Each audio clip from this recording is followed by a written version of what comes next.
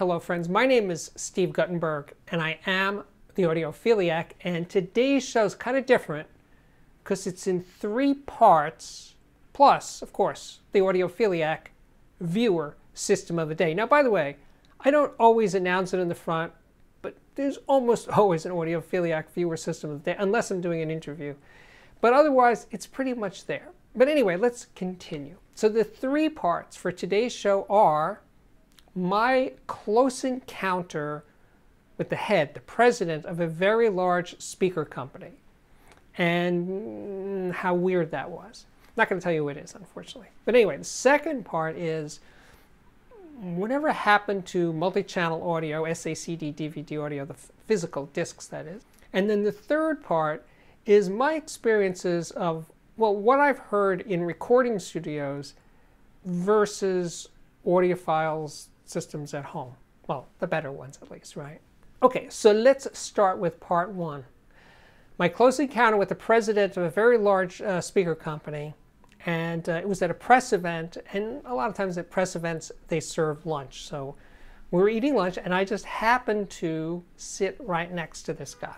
Nice guy, perfectly nice. And we were, you know, chit-chatting away.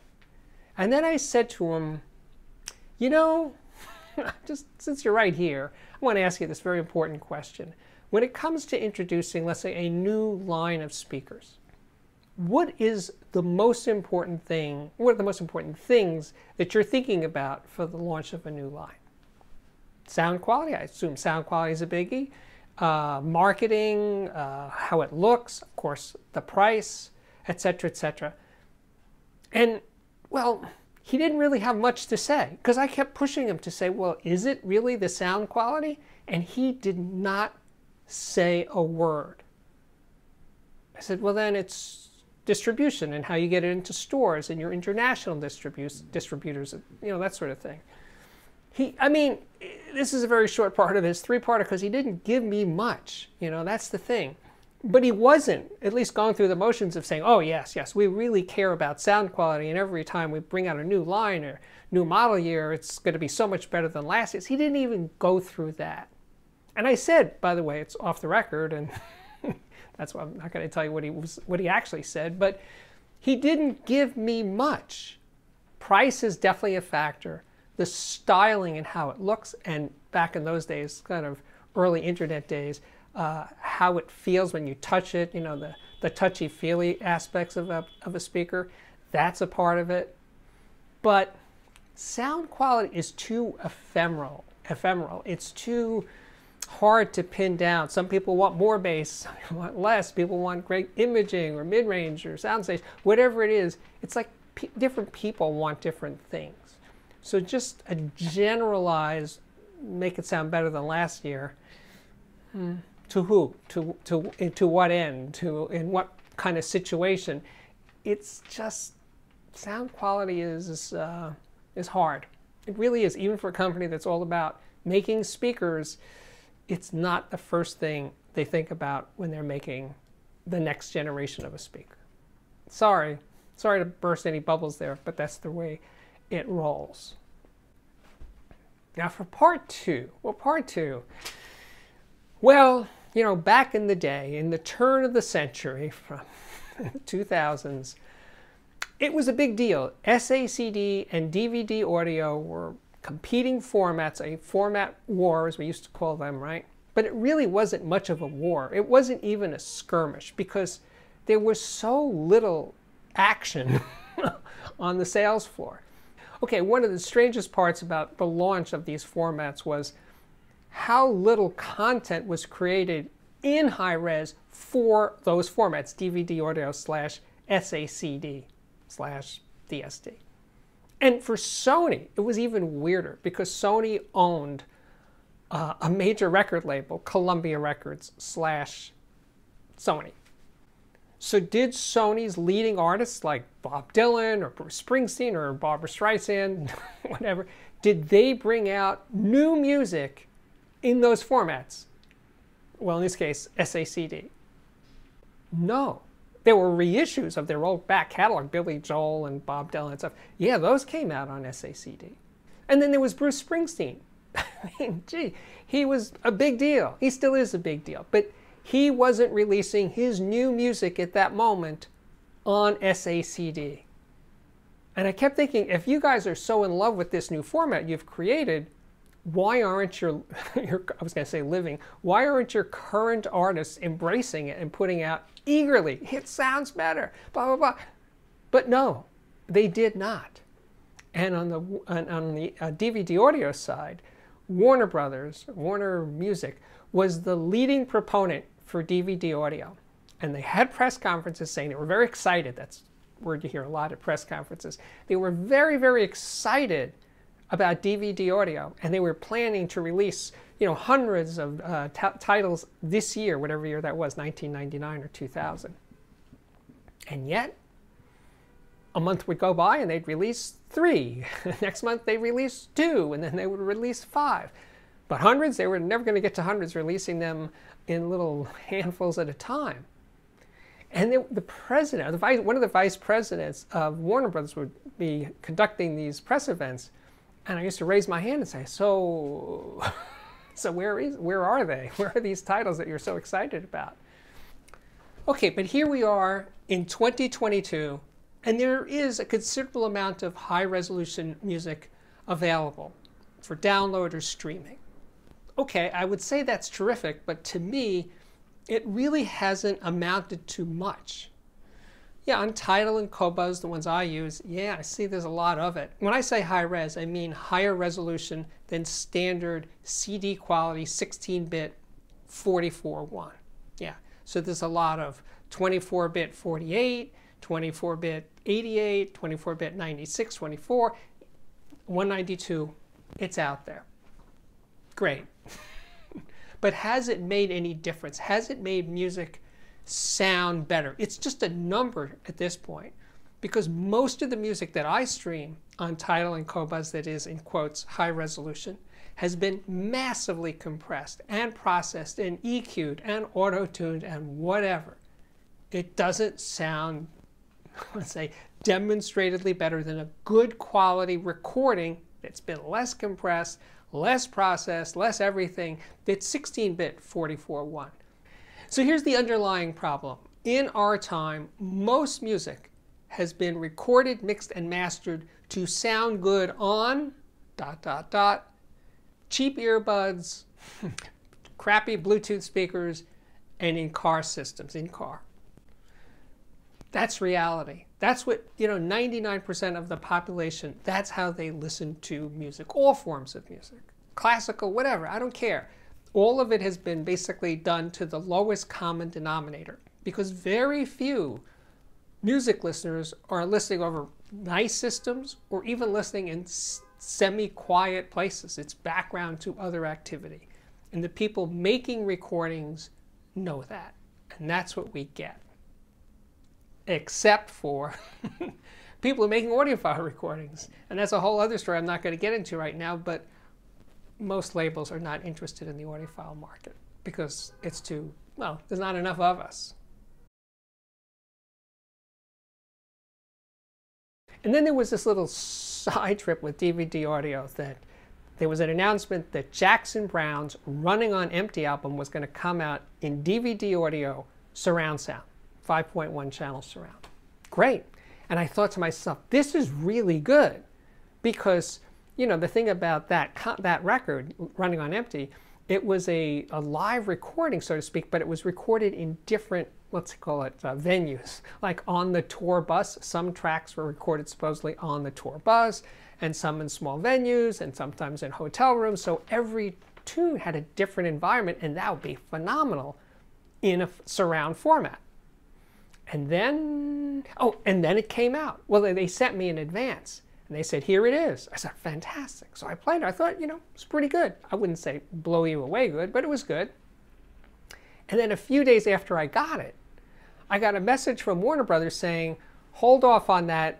And by the way, send back that disc, which wasn't a production disc. It was a burned DVD audio disc. Okay, why? I said, well, it's not going to come out right now. I said, really? Why not? Anyway, I never got an answer. But it came out like a year or two later, but by then the party was sort of over. with DVD audio. So things like that kept happening. a really funny story was oh, I think the best part, the best part of the SACD saga in terms of how to get this format out there was of all bands and of all labels, so to speak, was the Rolling Stones.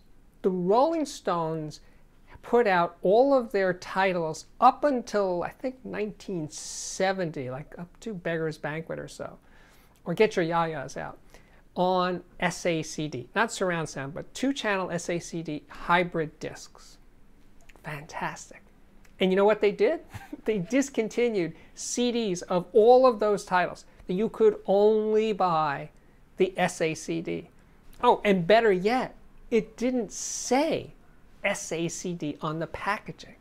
No, you only became aware that it was an SACD when you, you know, took off the shrink wrap and saw on the inside it said SACD. And it said it's compatible with the CD, CD players. And if you have an SACD player, you'll hear it sound better on the SACD player. Fantastic.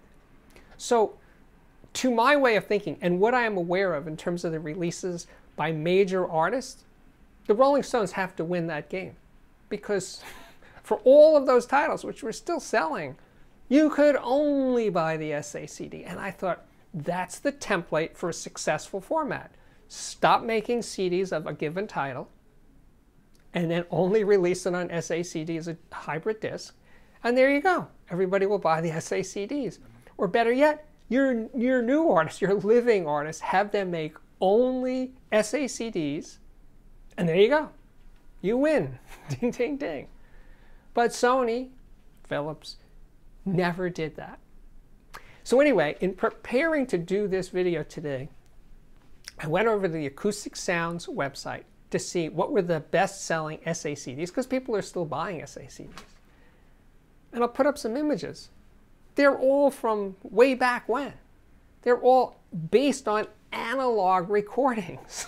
it's crazy. I mean, the best-selling SACDs of all time, or the best-selling SACDs right now, I should say, are all from long ago and far away. Not a single one recorded to DSD. So I checked out Music Direct, another seller, online seller of SACD. I checked Amazon. I checked uh, a Japanese site where supposedly SACD is doing a little better. Again, mostly analog recordings. So the promise of a better than CD quality format, which was what SACD was supposed to be, it had no traction then. Yeah, and I know, yes, I do know that there's classical music that comes out in the DSD format now and can sound great, and that's good. But I'm talking about the successful or the lack of success for DVD audio and SACD. Another little side issue, and I wish I had taken a picture. At Tower Records in New York City, you could not buy the, the SACDs and DVD audio discs in the store that sold music. They had a separate store across the street for video. That's logical. But that's where they sold DVD audio and SACD and there was a big sign over the rack. It was one rack, it wasn't like many racks. There was one sign over the rack that said, Warning, do not buy these discs for your DVD player or CD player. They, will, they, we can't guarantee that they will play, so you won't be able to return them. Words to that effect. So yeah, yeah, big format. Everybody loved it, except nobody really liked it, you know. And then the thing is, when surround uh, started happening, matter of fact, there was a magazine that I was getting called Surround Sound Professional. And they predicted, again, in the early 2000s, that surround sound was going to be such a widely accepted format that very few people would be left recording to stereo. It's just yesterday's news. Like, why would you only want stereo when surround sound was so much better? And again, very, very, very few people were making recordings, new recordings in surround audio. Oh yeah, yeah, I do know that Steven Wilson from Porcupine Tree in his own solo career is a major proponent of surround sound for music and has made some excellent recordings on his own and has remixed uh, Jethro Tull and King Crimson and other bands in surround from their recordings of Long Ago and Far Away. And he's excellent. He is phenomenal. I wish everybody in the industry understood surround sound as well as Steven Wilson. But again, I don't see uh, too many current living bands signing up and saying, Steve, we want you to make surround sound for us today. Well, there was, a, there was another great little story about surround sound that was positive, was the Talking Heads had their entire studio collection remixed to surround sound by, I think, Jerry Harrison, who was in the band, the keyboard player for the band. And it came out in one big box set. It was called The Brick. And I got this thing and I listened to it and I thought, Jerry Harrison really gets it. Those surround mixes were phenomenal. They just they made sense. They were logical. They just expanded the stereo mix. You could hear the things that were going on, the, the density of the uh, mixes so much more clearly. It was excellent. I interviewed him about it, and he said it took him a year to do all of their studio albums, the ones that were in the in the in the brick. Uh, and I said, "You did it, man. You really nailed it." But there were so, those were so far and few between. They just so rarely happen. Most surround mixes, it appeared to me back in the time I was writing reviews in a home theater magazine about DVD audio and SACD surround mixes. So many of them were just instruments thrown around like there's a guitar over there and there's a tambourine over there. It's just like whatever, you know. So it, uh, it's really sad that so few musicians or engineers really got got it, learned what to do with surround sound. Uh, yes, Steven Wilson, definitely Jerry Harrison, but I'll tell you somebody who didn't get it, and that was Mickey Hart. He remixed some uh, Grateful Dead records for DVD audio in surround, and they were pretty pathetic. And I interviewed him about it, and he was he was clueless. He was totally clueless as to what it was, what were its potential. It just never came together. This idea of mixing music for surround. You know, it's funny that the stereo format was a little rocky in the early days, but how the, the aesthetic of what stereo should be for pop music came together relatively quickly. Now here, so here we are in the 21st century, 2022, and it's still surround mixes are pretty hit or miss, and a lot more misses than hits. Of course, again, you guys can tell me about all the great new music, not remixes of 50, 60 year old recordings, new music in surround that's incredible. Now, as for part three, my experiences in recording studios. Now, I'm not, I'm not a recording engineer. It's not like I've spent that many, that many recording studios, but enough, and mixing studios and mastering studios to say that the sound I've heard in those places. Mm, it wasn't uh, pleasing. It wasn't audiophile. It wasn't something I would want to spend my life listening to.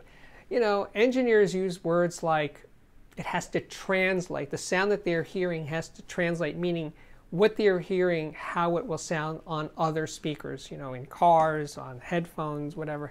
That what they're listening for isn't for pleasure, they're listening to can I hear everything that I need to hear in the mix, as opposed to wow, that sounds really beautiful. Oh, those vocals sound so lifelike. No, no, they don't think that way. At least most of the ones that I've spoken to and the, and what I've heard out of studio systems. No, what studio engineers are looking for, whether they're recording engineers, mix engineers, or mastering engineers, is this, to be able to hear what they need to hear in the mix. That's it as far as I can tell, and again, I'm not a recording engineer by any stretch, but I have spent some time in studios, and that's what it seems like to me. And what audiophiles are generally looking for is a sound that's pleasing to them, that makes their music, audiophiles, that makes their music sound good. Now, of course, some audiophiles are, you know, looking for highly analytical sound that they can hear everything. The good and the bad and the truly ugly in terms of massive, massively compressed, heavily processed, auto-tuned, whatever. They want to hear every excruciating detail of that. And if that's if that's you, sure, go for it, man. It's your money, it's your ears. You should get what pleases you. But I, I gather, having spent my life in the audio biz in one form or another for over 40 years, that most audiophiles want a sound that makes their music sound good to them, which is the way it works. But that's true for everybody, the analytical audiophiles and the, let's say, euphonic loving audiophiles. Whatever it is, whatever floats your boat, that's what you should be going for. I have. Absolutely. There's no other way to approach this, really. You only have to please yourself. Okay, so we're going to get to the Audiophiliac viewer system of the day in just a few moments. But first, no, uh, I just want to talk a little bit about my previous review, the Enleum Amp 23R.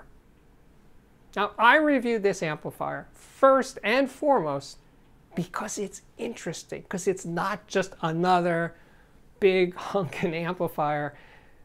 No, it's tiny, really, really tiny. Sounds really good. It's built so beautifully. It's jewel-like. When you touch it and you feel, knob feel was extraordinary. That's why I did it. And because it sounds really, really good. Now, the thing is, I got a lot of comments that were from people that were upset about it because it was too expensive, because it was built in South Korea, and blah, blah, blah. I was like, wait a minute. I'm not here to sell you the thing. I'm here to tell you about it. If you're not interested, that's cool. I'm not interested in a lot of things that other people are interested in. I don't get angry about it. I just say I'm not. That's not my thing. So, yeah, it's kind of weird. Now, I review affordable products, sometimes extremely affordable products, where I find them interesting, and everyday products, and medium price, and very high-end stuff. That's what I do here. I'm presenting a wide range of products and not just, I'm not just here to do reviews. I do interviews with audiophiles, and you see them in their homes or the Audiophiliac viewer system of the day. You get to see what your brethren uh, have at home. I, I'm here to provide entertainment. That's what I'm here to do. But anyway, let's lighten up. That's what that's my point here is chill. and speaking of chilling, it is now time for one of your systems, the Audiophiliac viewer system of the day. Today I've decided to do two viewer systems of the day. This one comes from Martin. He's from Argentina. He has a Gato Amp 150 integrated amplifier. I love it. Dynaudio Confidence 20 speakers, REL T9i subwoofer, Cambridge Audio Azure 851N DAC streamer, and a Rega Apollo CD player. Nice going, Martin. This one comes from Daniel. He's 26 years old and he just upgraded his speakers last night. And they are RTR G200s. They're pretty big. And the lower driver, by the way, he points out, is a passive radiator. He has a musical fidelity A3.2 dual mono integrated amp He's using the built-in phono stage, but he also has a Music Hall Mini Photo Plus if he ever wants to try something different or listen through headphones. His turntable is a Fluance RT81. He's been lately he's been switching back and forth between two cartridges, a Nagaoka MP200 and a Pickering XSV 3000, which is a vintage cartridge, but he does have a new stylus. Thanks, Daniel. We are back Yes, we are. My name is Steve Guttenberg, and I continue to be the Audiophiliac, and I'm proud to do so. If you like what I'm doing here on the channel, please consider joining my Patreon and support the channel. It's easy to do, a few bucks a month, up to $50 a month. That's all I got to say. Check out the, the website and you will learn more. Some of you might have known, noticed that I now have a podcast. Yes, a podcast that's not this show. It's completely different than this thing, although it stars me. so, anyway, check out my podcast. You can hear it on my own website, which is just for podcasts, but also on Apple Podcasts and Spotify and iHeartRadio and all those usual places that people hear podcasts. So, please check it out. And speaking of please, if you like what I'm doing here on the channel, and I know a lot of you do, please hit that like button. The YouTube algorithm favors YouTube channels like this one if they get lots of likes. So please give me a like here and there when you think I deserve it. And speaking of deserving it, if you have yet to subscribe to this channel, please do so. And with that, I can say my work here is at last complete. Yes, it is. Thank you so much for watching, and I really, really do hope to see you back here again very, very soon. Bye bye.